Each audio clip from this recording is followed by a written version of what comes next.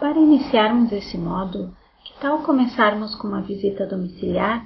Pois bem, vamos fazer uma visita a um usuário que utiliza insulina e vamos observar onde que é guardada esta insulina, se for na geladeira, em que parte da geladeira eles guardam, onde são guardados os outros medicamentos, comprimidos, líquidos, cremes, entre outros.